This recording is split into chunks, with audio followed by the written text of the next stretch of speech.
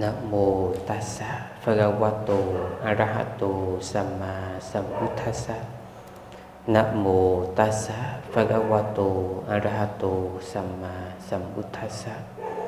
Nam mô Tassa Bhagavato Arahato Samma Sambuddhassa.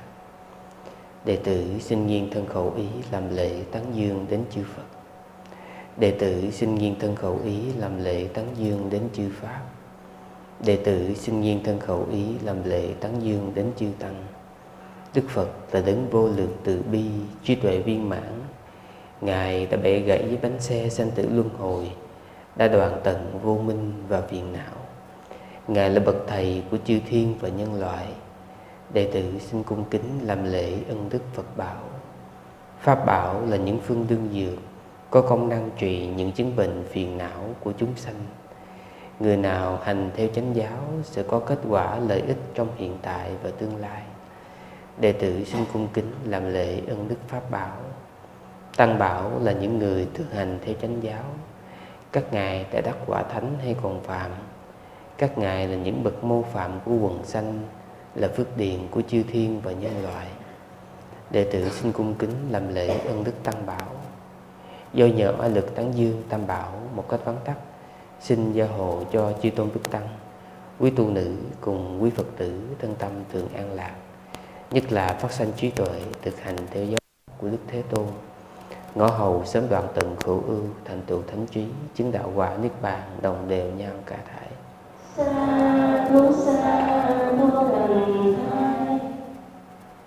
thế giới mà chúng ta đang sống là thế giới của các cảm thọ quy để ý. À, khi mà kể từ khi chúng ta sanh ra ở cái cuộc đời này chúng ta nhìn tất cả mọi thứ. Chúng ta tiếp xúc với tất cả mọi thứ ở thế gian này thông qua các cái giác quan. Và chúng ta sống cũng như chúng ta chết theo những cái giác quan đó, đó chúng ta làm dựa trên cái chuyện là chúng ta đi tìm kiếm những cái mà chúng ta thích, làm cho những cái giác quan của chúng ta nó được thỏa mãn. Và chúng ta nỗ lực, chúng ta làm các cái hành động thiện ác để chúng ta tránh phải tiếp xúc với những cái cảnh mà chúng ta không mong muốn. Thì tất cả đều là thế giới của các cảm thọ. Đó là gì? Chúng ta tiếp xúc bởi những cái mắt chúng ta thấy.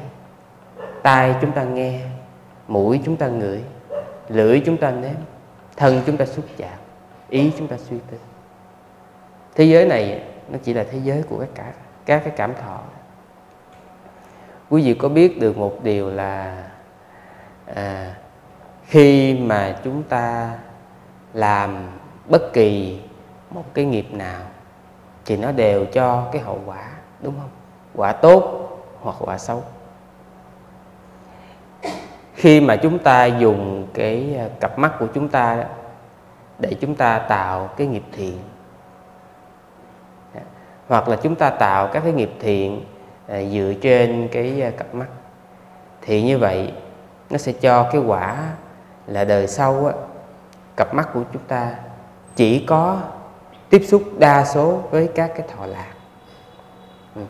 ví dụ như à, chúng ta nhìn à, đức phật bằng một cái lòng thương mến à, bằng một cái niềm tin đó thì khi chúng ta nhìn phật chúng ta nhìn bằng một cái cặp mắt lạnh nó sẽ cho một cái quả báo là đời sau á, khi chúng ta nhìn vật gì đó thì chúng ta sẽ nhìn bằng cái cảm thọ à, thọ lạc. Ví dụ như à, khi mà mình à, nhìn à, đức phật mình nhìn bằng cái tâm lành. Đời sau á, mình nhìn thấy cái gì? À, mình nhìn thấy cung điện nè à, mình nhìn thấy là đền đài nè lầu cát nè mình nhìn thấy các cảnh à, trời nè đó. Thì đó là các cái cảnh lành mắt mình nhìn thấy toàn là cảnh lành thôi. Nhưng mà có những người mắt họ nhìn thấy họ nhìn thấy cái gì? Nhìn thấy cảnh địa ngục nè à, nhìn thấy cảnh ngạ quỷ nè nhìn thấy cảnh súc sanh nè hoặc là họ nhìn thấy cảnh nghèo cảnh khổ. Đó. khi mà mình nhìn à, tài sản của người khác nha, mà mình nhìn bằng cái tâm không có tham mình không có lòng tham muốn chiếm hữu tài sản của người khác. Thì đời sau sanh ra, nó sẽ cho một cái quả báo là mình nhìn thấy cái gì cũng đầy đủ hết. Nhìn thấy tiền mà là tiền của mình. Cũng là cái cọc tiền đó. Mà nếu như mình nhìn thấy đó là cái cọc tiền của mình, thì cảm thọ nó khác. Mà mình nhìn thấy nó là cái cọc tiền không phải của mình, cái cảm thọ nó khác. Cho nên do cái nhân đời trước, mình à, nhìn tài sản người khác mà mình nhìn không có cái lòng tham muốn chiếm giữ. Mình nhìn mà mình không có suy tư làm sao để mình lấy những cái không thuộc về mình.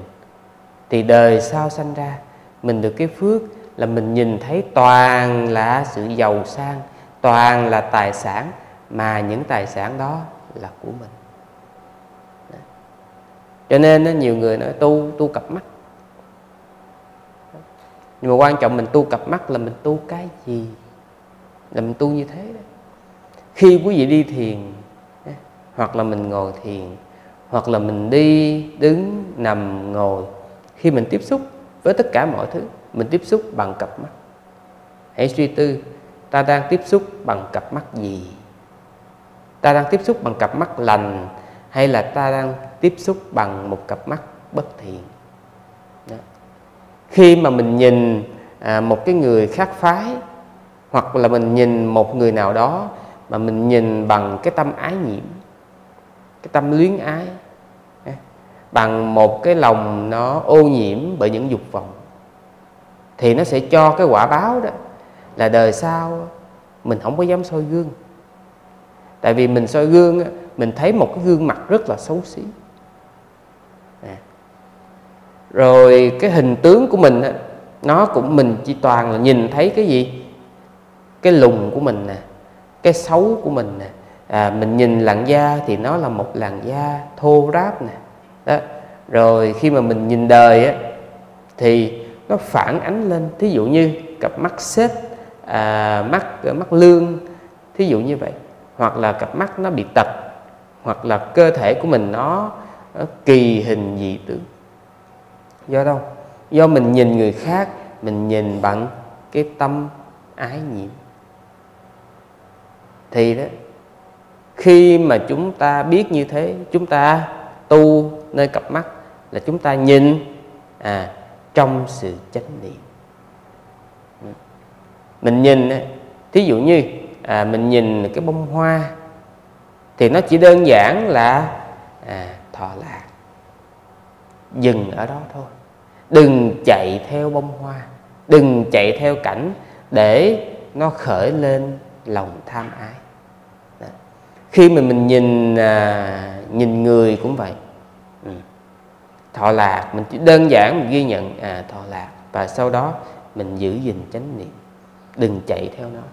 Bởi vì khi mình dừng lâu ở một cái hình ảnh nào đó thì tâm tham ái ngay lập tức nó sẽ sinh khởi mà khi mà mình nhìn một cái vật nào đó bằng tâm ái nhiễm nhìn một người nào đó bằng tâm ái nhiễm thì nó sẽ cho quả báo đời sau kiếp khác. Mắt mình chỉ nhìn những thứ bất toàn bất toại. Tương tự như vậy khi mình nhìn cảnh người hay vật mà mình nhìn á, bằng một cái nội tâm ganh tị nè bỏn sẻn sân hận thì khi đó, đó nó sẽ cho cái quả đời sau mình chỉ toàn nhìn thấy những thứ bất toàn bất toại bất trắc thí dụ như nhìn thấy cảnh nghèo nhìn thấy cảnh à, ăn không đủ no tới cái giờ ăn mà mình nhìn cái mâm cơm mình nhìn nó quải muốn chết thậm chí không có được cái tô mì gói để mà ăn. Thì những cái cảnh mà mình nhìn đó là do đâu? Do đời quá khứ mình đã dùng cặp mắt tạo nghiệp bất thiện. Ừ. đó là chưa kể ha. À, khi mà mình à, à, dùng cái cặp mắt của mình á để mình nhìn cái người khác phái mà mình nổi cái tâm mà à, tà hạnh á thì đời sau mình sẽ sanh ra. Trong cái cảnh là gia đình ly tán một gia đình không hạnh phúc mình phải ngó cái cảnh à, cha thì theo vợ bé hoặc là mẹ à, thì đi theo người khác ông ăn chả bà ăn nem. Rồi gia đình lục đục với nhau mình phải chứng kiến cảnh đó, đó còn nếu như mà mình nhìn người khác bằng tâm từ nhìn người khác bằng một cái lòng không có ái nhiễm thì mình nhìn đời sau sanh ra cặp mắt của mình mình nhìn đời là mình nhìn thấy à, một cái gia đình hạnh phúc. Đức Thế Tôn ngài có một cái à, tướng cặp mắt rất là đẹp. Đó là tướng cặp mắt à, như là à, con à, bò tơ. Con bò cái. Cặp mắt rất là đẹp. Mà phải nói là khi mà ngài nhìn ai đó là người ta chỉ có rụng rời thôi ngài cặp mắt ngài đẹp lắm. Do đâu ngài có cái tướng đó? Là do khi xưa vào cái thời kỳ mà ngài vun bồi các cái ba la mật ngài không bao giờ nhìn người khác phái bằng lòng ái nhiễm. Và ngài cũng không bao giờ có cái kiểu là ngài nhìn ngang liếc dọc tức là nhìn lén. Ngài không bao giờ ngài có. Rồi um, đến cái uh, cái tướng uh, đến cái cảnh của cái uh, tai. Quý vị biết là có những người đó họ nghe toàn là những lời khen họ nghe toàn là những lời à, chúc tụng. Nhưng mà có những người đó lỗ tai của họ à, toàn nghe những cái lời chê bai toàn nghe những cái lời chỉ trích. Do đâu? Do đời trước họ dùng à, cái âm thanh. Họ dùng cái âm thanh để họ cho người khác nghe làm cho người khác nổi lên cái tâm gì thì đời sau mình sẽ chịu cái hậu quả à, tốt hoặc xấu tương ứng. Ví dụ như à, mình à, cho người khác à, nghe những cái à, lời chánh pháp. Mình cho người khác nghe những cái điều đúng đắn. Đó. tức là mình tạo cho người khác nghe bằng một cái tâm thiện. Thì đời sau sanh ra đó ừ, mình chỉ toàn nghe chánh pháp mình nghe những điều đúng đắn, nghe những điều nên làm và không nên làm. Còn khi mà mình à, gặp người khác mà mình chỉ có mắng, chửi, mình nói những lời thô lỗ, thì đời sau sanh ra, mình cũng chỉ có thể nghe những lời thô lỗ. Cho nên chúng ta phải gìn giữ cái khẩu nghiệp của mình. Mình nói như thế nào đó để trong cái nội tâm của mình mình nói bằng tâm từ, chứ không phải mình nói bằng cái tâm sân. Muốn đời sau sanh ra, lúc nào cũng nghe những cái âm thanh thoải mái. Ví dụ như nghe âm thanh của à, chư thiên, cõi trời. Đó. rồi nghe những cái lời tán thán, nghe những lời chúc tụng. Và đặc biệt hơn nữa là mình nghe được chánh pháp thì mình phải rèn luyện cái khẩu nghiệp của mình. À, bằng cách nào? Thứ nhất à, là mình phải à, thực hành nói theo cách của bậc trí. Không có ai cấm mình nói. Ở đời là mình phải giao tiếp với nhau. Nhưng mà giao giao tiếp như thế nào là thông minh? Thì không phải ai cũng biết được và không phải ai cũng làm được. Thứ nhất, trước khi mở miệng mình nói, mình phải xem xét, mình nói có đúng sự thật hay không. Tránh trường hợp mình nói dốc quen miệng, nha. Trước khi nói mình phải suy tư, cái mình nói đó, nó có đúng sự thật hay không. Mình phải đối chiếu đó, mình phải xem xét, mình phải nghiên cứu. Chứ đừng có ờ, theo cái kiểu như bây giờ mình đọc một cái thông tin gì đó ở trên mạng, rồi ai đó gửi cho mình một cái tin nhắn, thế là mình cứ gửi cho người khác vô tội vạ, rồi mình cứ tuyên truyền mà mình không cần biết cái đó đúng hay sai. Mình không cần phải suy tư, mình không cần cái gì hết trơn á, thì cái đó nên tránh à. cái thứ hai là mình xem coi cái lời mình nói nó có lợi ích hay là không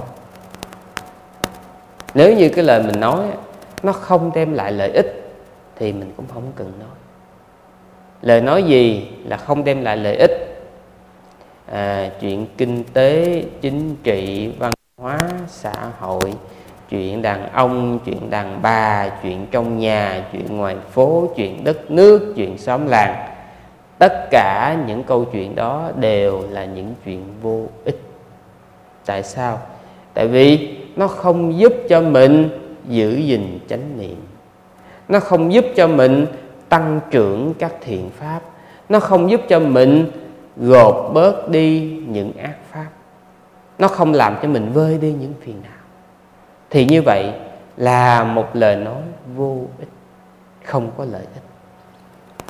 Cái thứ ba là chúng ta phải xem xét là lời nói của mình có đúng thời điểm hay không. Có những lời nói à, mình nói nó không có đúng lúc không đúng thời điểm thì nó cũng không đem lại tác dụng. Ví dụ như à, mình đang à, nóng mình đang nóng nảy bực bội thì mình nên im lặng. Hoặc là khi mà người ta đang bận mà mình cứ đè đầu người ta ra mình giảng đạo lý thì làm sao người ta nghe? Hoặc chồng, ổng đi nhậu về, đang mệt, mình cứ đè ổng ra cằn nhằn thì làm sao ổng nghe? Hoặc là ờ, đứa con của mình nó đang ngồi nói chuyện với bạn nó đang chơi với bạn nó rồi mình lôi nó ra để mình dạy dỗ thì nó cũng không có hợp thời. Tại vì có khi mình sẽ làm nó mất mặt trước bạn bè. Đấy. Cho nên cái chuyện xem xét có đúng thời điểm hay không nó rất quan trọng. Rồi um, điều thứ tư nữa đó là khi mình nói như vậy đó mình có suy xét kỹ mình có sắp xếp câu chữ cho hợp lý hay không? Hay là mình cứ bạ đâu mình nói đó. À, mình nói một cách thô lỗ à, nói mà mình không có tổ chức ngôn ngữ. Quý vị thấy đó có những câu nói mà mình nói người ta không hiểu gì hết. Mặc dù mình hiểu nhưng mà tại vì mình nói thì đương nhiên là mình phải hiểu chứ còn mình nói mà mình cũng không hiểu mình nói cái gì thì nó lại là vấn đề khác. À. nhưng mà mình nói mình phải có cách mình diễn đạt cho người khác hiểu được cái ý muốn của mình. Đó là cái khả năng truyền đạt cái khả năng đưa ngôn ngữ đến với người khác. Từ uh, câu hỏi cho đến câu trả lời. Thì mình phải biết cách sắp xếp ngôn ngữ cho nó có đầu có đũa. Đó. Chứ không phải mình cứ bạ đâu rồi mình nói. Xin thưa nhiều khi á, sư đọc những cái câu hỏi những cái bình luận uh, mà sư rất lấy làm ngạc nhiên. Thì không hiểu tại sao họ có thể vào được đây. Tại giống như là họ chữ họ không biết sắp chữ. Họ nói làm sao đó mình không hiểu họ muốn nói cái gì. Cho nên mình phải suy tư sắp xếp câu chữ lại. Ừ. và cái điều mà cuối cùng là mình nói có từ tâm hay không? Hay là mình nói bằng sân? Mình nói à, trong sự nhận thức rõ có chánh niệm hay là mình nói trong thất niệm? Những cái cuộc mà nói chuyện phù phiếm giao tế đa phần là mình thiếu những cái chi tiết này. Mà xin nói đặc biệt á, cái bước cùng là mình nói bằng từ tâm. Rất là hiếm. Thành ra muốn à, mở miệng ra nói cái chuyện đầu tiên hỏi chính mình mình có từ tâm với người ta hay không? Mình có thương người ta hay không?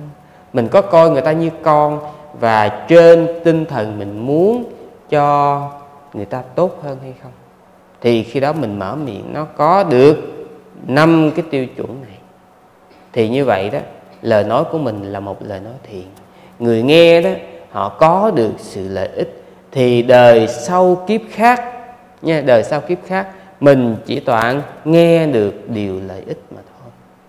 Chứ mình không có nghe người khác Ờ, nói nhảm nói dốc rồi ờ, người ta phải ờ, lấp liếm che giấu không cần. À, mình không bao giờ mình phải tiếp xúc với cái chuyện đó hết. Ừ. Thành ra đó tu nơi cái lỗ tai cũng đúng. Rồi mình tu như thế nào đó để mình à, chỉ toàn nghe những cái điều thiện. Chứ mình tu làm sao mà mình chỉ toàn nghe à, những cái lời phi pháp thì nó uổng. Mà để sư nhắc nha để mà đời sau á mình à, lỗ tai của mình á, chỉ nghe được chánh pháp chứ không phải nghe tà pháp thì đời này mình cần phải học chánh pháp. Mình cần phải truyền bá chánh pháp. Mình cần phải nói đúng theo chánh pháp. Thì nhờ như vậy nó sẽ là cái duyên đời sau mình tiếp tục nghe chánh pháp. Còn khi mà mình à, tiếp tay mình phổ biến những cái tà pháp những cái phương pháp thực hành sai lầm thì đời sau kiếp khác mình rất khó tiếp cận được với chánh pháp. Thành ra à, tại sao trong khóa thiền này sư luôn khuyên quý vị cần phải giữ gìn lời nói của mình? Không có nói, không có nên nói chuyện. Tại vì sao? Bởi vì khi mình nói chuyện như thế đó, mình tạo rất nhiều những cái nghiệp bất thiện. Quý vị có biết là cái chuyện mà mình nói nói, gọi là, giao tiếp thông thường mà mình bắt đầu là mình kể chuyện trên trời dưới đất á, nó là cái nghiệp bất thiện, quý vị biết không? Tại sao vậy? Bởi vì mình đang làm lãng phí thời gian của mình và người khác. Mà thời gian này là thời gian tu. Phải mình lãng phí thời gian của mấy cái người mà không có tu hành gì hết tội nó nhẹ. Còn mình đang lãng phí thời gian của những người tu. Tức là bạn mình đang tu, mình cũng đang tu, mà mình làm lãng phí thời gian của nhau. Phải nói là nó uh, tổn phước dữ lắm. Ở trong chú giải pháp cứu có nêu lý do tại sao mà mình phải luôn sống trong chánh niệm. Bởi vì thứ nhất là mình không biết mình sẽ chết bất kỳ lúc nào. Mình không biết được. Mà nếu như mình chết trong cái sự thất niệm á, thì mình sẽ đi xuống. Còn khi mình chết trong chánh niệm thì một là giải thoát hai là đi lên. Cái thứ hai là mình không biết mình chứng đắc đạo quả bất kỳ lúc nào. Không ai biết được là mình đã vun bồi ba la mật được bao nhiêu. Mà có đôi khi á, nó chỉ cần nó chờ cái thời điểm nó trổ quả thôi. Mà nếu như mình thất niệm mình bỏ lỡ cái khoảng thời gian đó thì về sau này làm sao mà mình um, tìm lại được cái giai đoạn đó nhé có đôi khi chúng ta thất niệm chúng ta sẽ bỏ lỡ cơ hội chứng đắc đạo quả của bản thân. Mà 10 ngày này là 10 ngày chúng ta mở lòng chúng ta chuẩn bị sẵn sàng mảnh đất màu mỡ. Để chi? Một là nếu như có cơ hội chứng đắc đạo quả, thì mình sẵn sàng đón nhận. Cái thứ hai là dù cho mình chưa chứng đắc đạo quả đi chăng nữa, thì trong khoảng thời gian này nè, mình luôn luôn vun bồi những phước thiện để có thể chứng đắc được trong đời sau kiếp khác nhưng mà mình lỡ mình lại làm lãng phí cái khoảng thời gian này thì nó uổng lắm. Sư à, đưa ra một cái ví dụ khác nó giống như à, bây giờ mình à, có người á, đưa mình đi đến à, một cái à, kho bạc à, à, cái kho ngân khố của cái ngân hàng á, và bây giờ nói là cho mình à, tự do lấy được bao nhiêu thì xài bấy nhiêu. Cho mình một cái túi một cái túi là vô đáy một cái xe là không có uh, gọi là no limited là không có giới hạn. Thì người ta nói là bây giờ anh lấy được bao nhiêu thì anh hưởng bấy nhiêu. Thì quý vị làm cái gì? Mình lo mình lấy chứ. Đó mình lo mình lấy tiền nè đó, mình lấy vàng mình lấy bất kể cái gì nó trong tầm tay của mình mình lấy càng nhiều càng tốt mình lấy cho tới chừng nào mà họ không cho lấy nữa thôi. Chứ còn lúc đó mà thử thử có cái bà kế bên nói ê khoan khoan ngồi ngồi kể chuyện đời xưa cho nghe. Quý vị có ngồi nghe không? Không có nghe. Nha. Thậm chí lúc đó là con có gọi điện nói con ốm con đau thôi để qua bên đi chút về má tính. Bây giờ không có tính cái vụ đó. Đó. Rồi cho dù là Ờ, ờ, người nhà có gọi điện lên mở lo ngoài nói ông chồng ổng ờ, đang cặp kè với bụng nhí thì kệ cha ổng nha giờ nó không có lo. Đó bây giờ là cái giờ mà tôi lo tôi gom tiền trời ơi, tiền trước mắt. Biết chút xíu nữa là đánh chuông cái ren cái là hết rồi. Tại sao mình lại có cái sự quyết tâm tới như vậy? Bởi vì mình thấy được cái lợi ích trước mắt. Nè thấy được cái lợi ích trước mắt. Thì cái chuyện mà mình hành thiền cũng vậy. 10 ngày này mỗi một giây một phút chúng ta sống trong chánh niệm. Phước nó nhiều vô số kể. Nhiều lắm. Đó mà mình à, uổng cái thời gian đó mà dành cho những chuyện phím luận thì phải nói sư tiết dùm quý vị giống như cái người mà đã cái thời gian đồng hồ đang đếm ngược để mà mình lo mình thu tiền rồi mà mình còn ngồi đó mình tán dốc với nhau thì phải nói nó uổng uổng dữ lắm ha.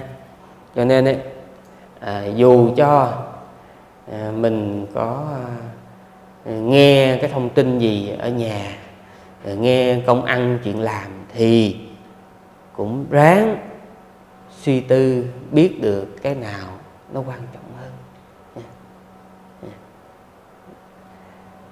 đó là cái nghiệp của lỗ tai đó quý vị.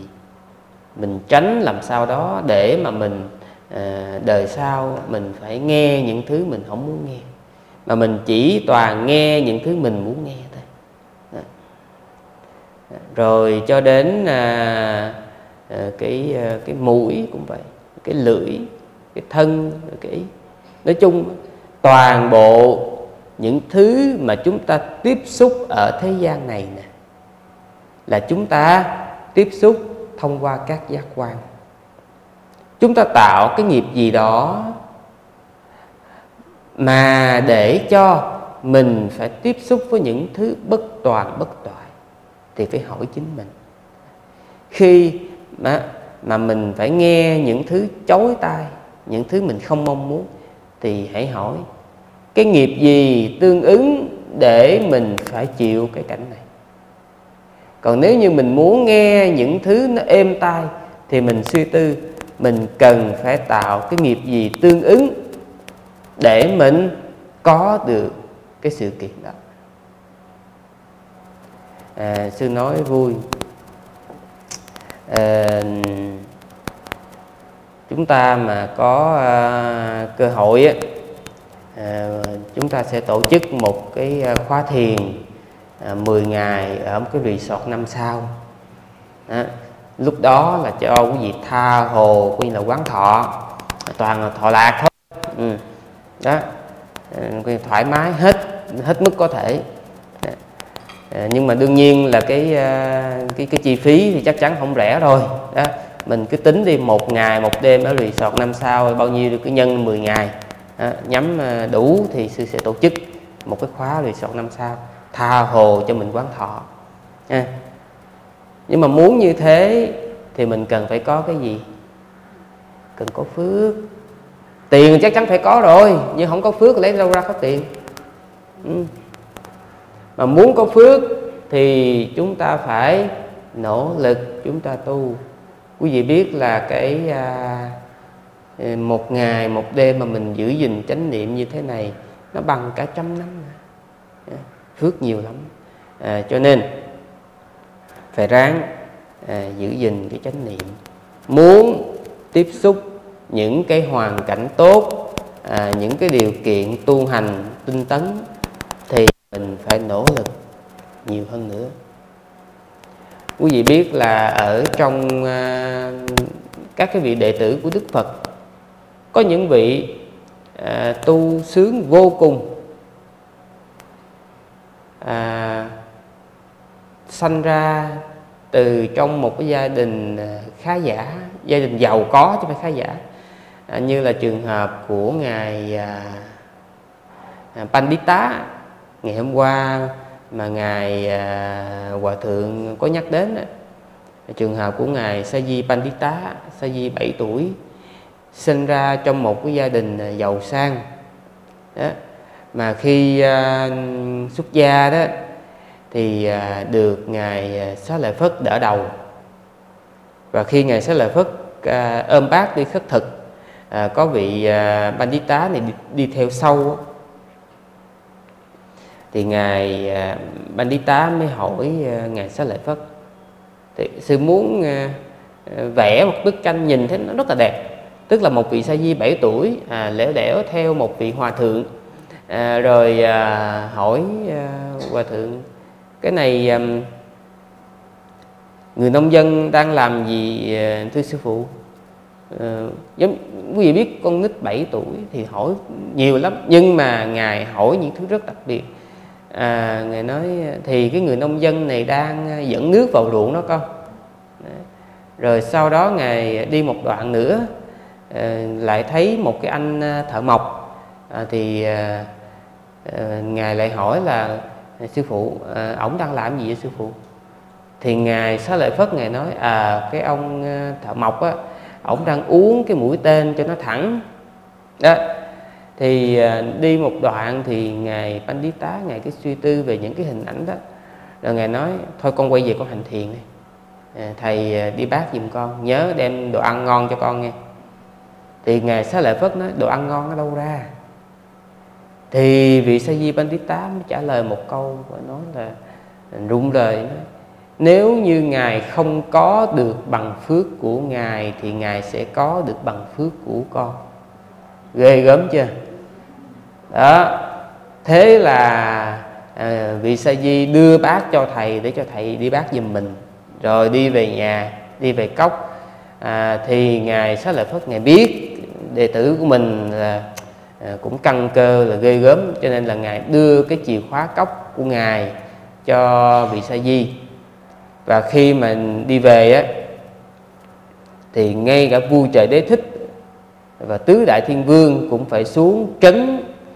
Trấn không có cho chim chóc uh, nó làm ồn không có cho ai lui tới để mà uh, quấy rầy. Ngay cả các cái vị thần á, phải ra lệnh là kéo mặt trời ờ, mặt trời mặt trăng lại. Để chi? À, để à, không có quá giờ ngọ. Thì vị sa di pandita đang hành thiền. Đức thế tôn lúc bây giờ ngài quan sát và ngài thấy là à, ngài xá lợi phất ngài đi về rồi chuẩn bị về tới à, tới cổng rồi mà nếu như ngài xá lợi phất đi vào á thì sẽ ảnh hưởng đến cái vị sa di đang hành thiền. Cho nên đức thế tôn đích thân ngài xuất hiện để ngài kìm chân ngài xá lợi phất. Ghê chưa? Ngài hỏi ngài xá lợi phất à, đây là cái gì? Ngài xá lợi phất nói dạ thưa thế tôn đây là thực phẩm. Đức thế tôn lại hỏi thực phẩm cho cái gì? Ngài xá lợi phất nói dạ thực phẩm thì cho sắc đó. rồi sau đó đức thế tôn sau khi thấy là sa di pandita đã chứng đắc đạo quả a la hán thì sau đó đức thế tôn mới để ngài xá lợi phất đi vào để à, cho đem cái phần cơm thiệt là ngon cho sa di pandita ừ. mà sa di này đó thì có cái sở thích là thích ăn cá thu à, à, và cái phần cơm ngài xá lợi phất đem về thì cũng có một phần cá thu rất là ngon. À, và sau khi mà sa di pandita ăn xong cái phần cơm cá thu đó thì à, vua trời đế thích và tứ đại thiên vương đi về. À, và à, các cái vị thần á, à, thả lại mặt trời mặt trăng như cái vị trí cũ.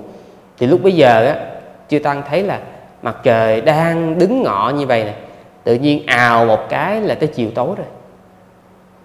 Thì chư tăng mới bàn với nhau tại sao ngày hôm nay nó lại có sự kiện đặc biệt như thế. Đức thế tôn giải thích là do vị sa di pandita à, là khi mà vị sa di này à, hành thiền cần chứng đắc đạo quả thì vua trời đế thích và tứ đại thiên vương phải xuống để mà canh gác. Và ngay cả đức thế tôn cũng phải đi đến để mà à, giúp đỡ cho vị sa di pandita. Thì chư tăng mới nói là không biết sa di pandita đã tạo cái phước gì mà kinh khủng như vậy. Đến mức mà à, đức thế tôn cũng phải đích thân xuất hiện rồi vua trời đế thích cũng phải xuống để mà trấn ải thì đức thế tôn giải thích là do thời quá khứ vị à, sa di pandita này nè à, có dân cúng à, một cái phần à, cơm cá thu à, đến một vị Phật độc giác. Và khi dân như vậy đó thấy ngài ăn thì có cái lòng thèm. Thì nhưng mà thèm thì thèm mà nguyện bụng 11 cho con ăn cái món này ăn cho nó đã. Đó và cũng nguyện là mong cho con được à, sớm ngày giải thoát giác ngộ. À, thì nhờ cái lời nguyện như thế mà vị này đó à, sanh sanh về cõi trời. Và cho đến cái à, kiếp cuối cùng á đó thì à, vị này à, được ăn cái món à, thượng vị mà mình thích đó chính là cái món cá thu à, và nhờ cái phước năm xưa đã cúng dường hướng đến sự giải thoát á, à, cho nên là được à, vua trời đế thích tứ đại thiên vương xuống canh gác và được Đức Thế Tôn đích thân hỗ trợ. Cho nên khi mà mình có được cái à, phước thiện từ thời quá khứ thì thời này á mình tu nó cũng dễ hơn. À, có những người à, họ đời sống vật chất à, rất là thoải mái. À, cho nên là à, các vị đó ngay cả cái chuyện mà mình đi tu cũng thế. Đời sống vật chất của vị đó cũng rất là thoải mái. Nhưng mà có những vị à, đời sống ở ngoài đời á thì thiếu thốn thiếu trước hụt sau. Tới hồi đi tu thì cũng thiếu xa hụt trước. Cho nên à, ngoài cái chuyện mà mình cần phải nỗ lực tinh tấn mình còn phải tích cực tạo các cái phước lành. Mà cái phước lành á quý vị tạo thông qua thứ nhất là thông qua cái việc bố thí thứ hai là thông qua từ tâm. Đó là lý do tại sao mà cái ngày đầu tiên à, sư hướng dẫn quý vị việc thực hành tâm từ. Nhờ cái chuyện mình thực hành tâm từ á mình hướng tâm từ đến với chư thiên thì à, cái đời sống tu hành của mình á, nó cũng được dễ chịu. Mà dù cho quý vị không tu đi nữa quý vị về đời mà quý vị hướng tâm từ của mình á, đến với chư thiên thì đời sống vật chất của quý vị ở tại gia nó cũng dễ dàng. Rồi đó là chưa kể khi mà mình sống bằng tâm từ như thế mình nhìn chúng sanh mình luôn nhìn bằng tâm từ. Mình nhìn tất cả những người xung quanh, mình nhìn bằng tâm từ. Thì như vậy, mình đang tạo cái nghiệp thiện bằng cặp mắt. Khi mình nghe những cái âm thanh của chúng sanh, mình luôn nghe bằng tâm từ. Đó. Rồi khi mà mình tiếp xúc, mình làm bất kỳ cái gì, mình đều làm bằng tâm từ. Thì như vậy, mình đang tạo thiện nghiệp thông qua sáu căn còn nếu không như vậy nữa thì những ngày tiếp theo sư cũng hướng dẫn quý vị à, theo dõi hơi thở. Đi thì biết là đang đi đứng biết là đang đứng. Từng cái oai nghi lớn nhỏ mình đều theo dõi và có sự ghi nhận. Cho đến từng cái cảm thọ thọ lạc đều ghi nhận thọ khổ cũng ghi nhận tất cả cái gì nó xảy ra đến với mình thì mình đều ghi nhận. Như vậy đó, mình sống trọn một ngày trong chánh niệm. Ngày thường á cái gì mà mình thọ lạc thì mình tham. Mình tìm những món ăn ngon, mình tìm những đồ mặc đẹp, mình tìm những cái hương thơm, mình tìm những cái đồ trang sức. Tức là mình để có được những cái thọ lạc đó chúng ta sử dụng tâm tham. Và mình cố nỗ lực để mình tìm cầu để có được cái đó. À. Còn những cái mà mình à, không có thí dụ như à, mình cơ thể mình có mùi hôi mình khó chịu. Đó rồi cơ thể mình đau nhất mình khó chịu rồi à, mình ăn cái món gì đó nó không có vừa miệng mình khó chịu. Mình gặp những con người à, không có dễ thương mình khó chịu. Thì những cái khó chịu như vậy mình lại sử dụng cái tâm sân để mình giải quyết nó. Thì như vậy đó cái người bình thường họ không có chánh niệm họ không có tu họ không biết quan sát thì họ sống ở đời họ sống bằng một loạt những cái dòng tâm bất thiện. Mà khi mình sống ở đời bằng một loạt những cái dòng tâm bất thiện đó nó sẽ cho cái quả đời sau xấu căn của mình chỉ toàn tiếp xúc với những thứ bất toàn bất toại bất trắc không mong muốn. Thấy chưa?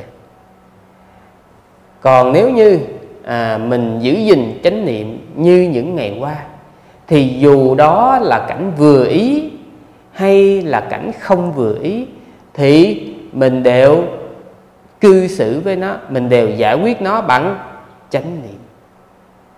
Bất kể cái sự kiện gì xảy ra, mình đều ghi nhận nó trong chánh niệm. Thì như vậy, mình đang tạo phước.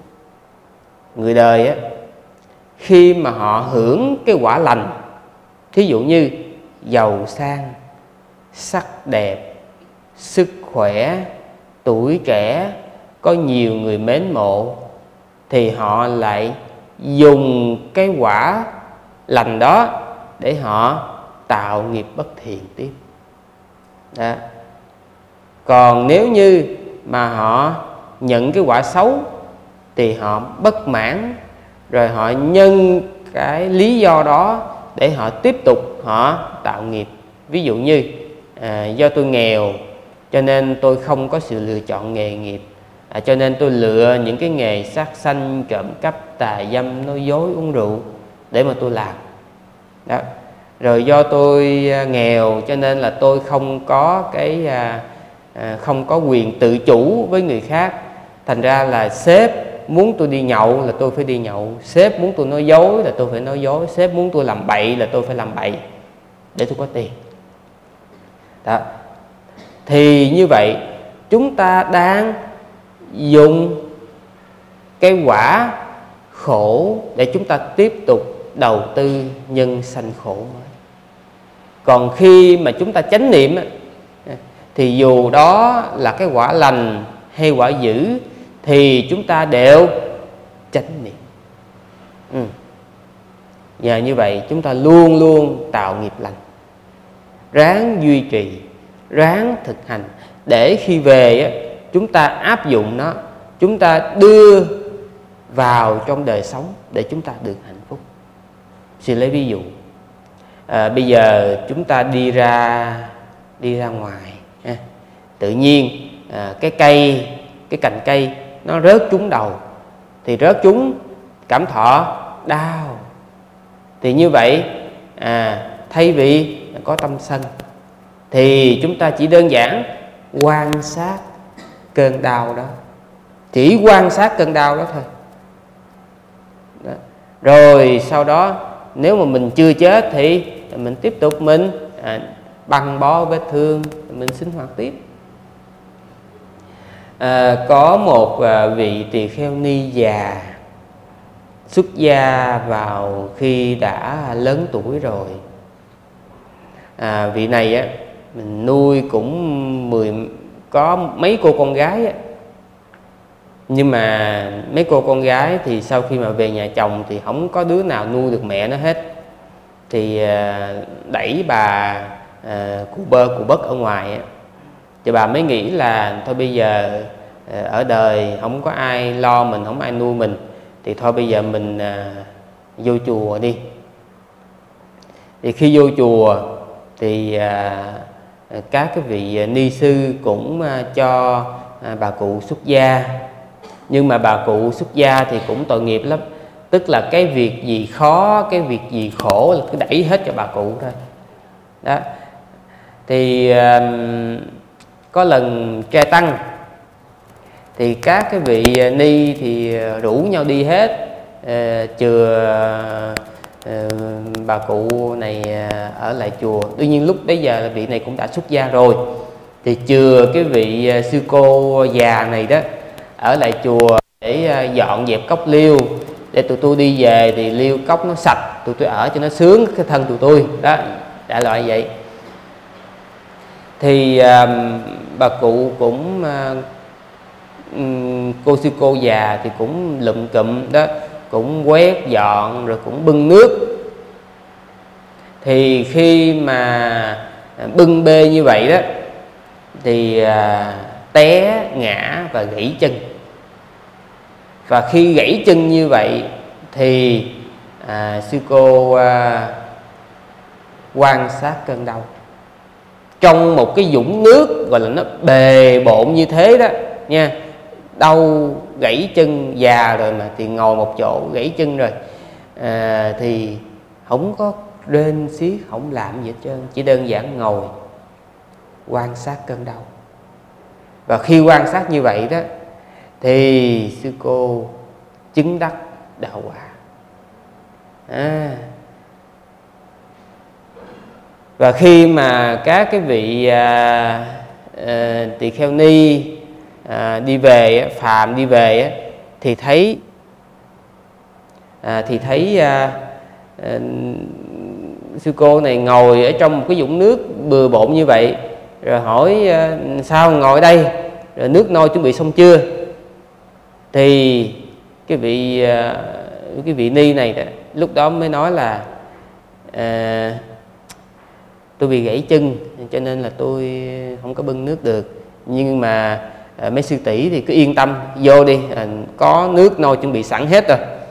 Thì khi mà các vị à, ni này đi đi vào á thì à, cái vị ni già chứng a la hán mới nhập vào đề mục và nước đổ đầy hết tất cả nước của à, những những cái thau chậu thùng và nhập vào đề mục và lửa.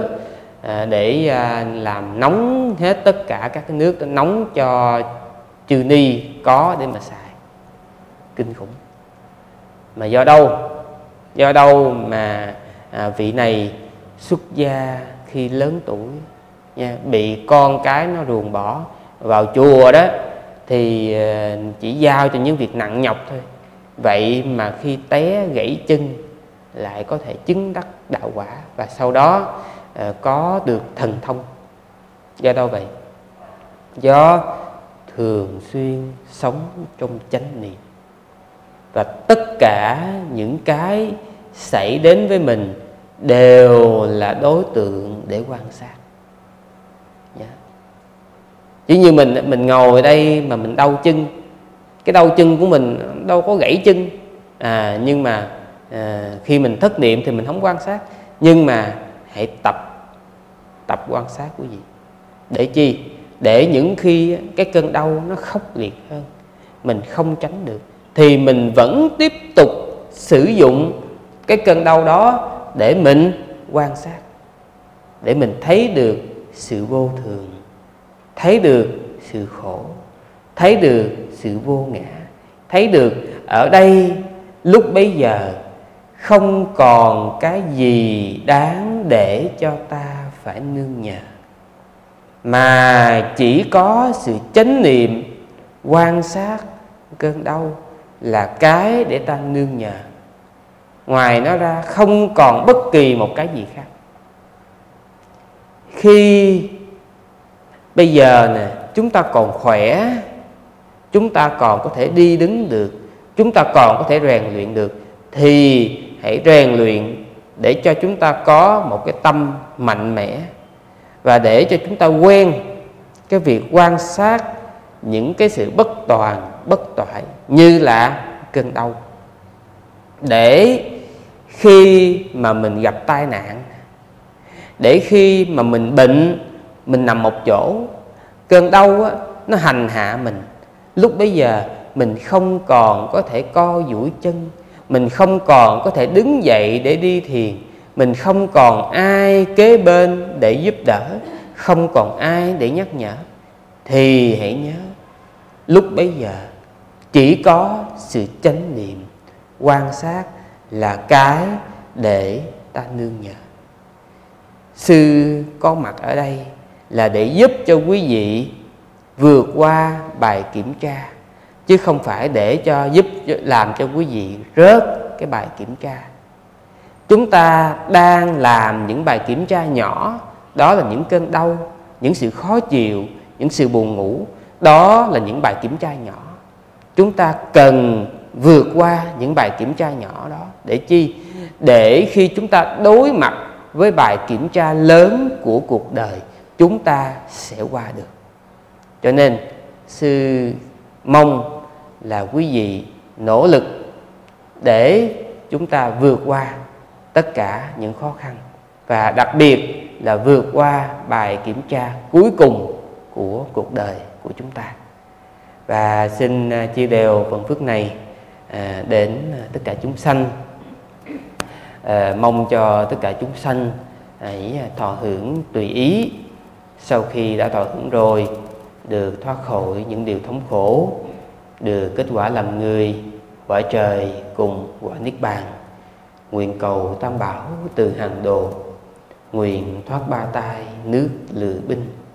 Nguyện thể chúng sanh khỏi oan kết. Nguyện cho nhân loại sớm tu hành. Nguyện dình tam học giới đình tuệ. Nguyện đoàn tham sân si độc sanh. Nguyện giải căn nhân sanh tử khổ. Nguyện diệt tâm tham háo lời danh nguyện tu tinh tấn không giải đãi. Nguyện sau đạo quả sớm viên thành. Nam mô bút thầy giác. Nam mô ma giác. Nam mô sanh khai giác.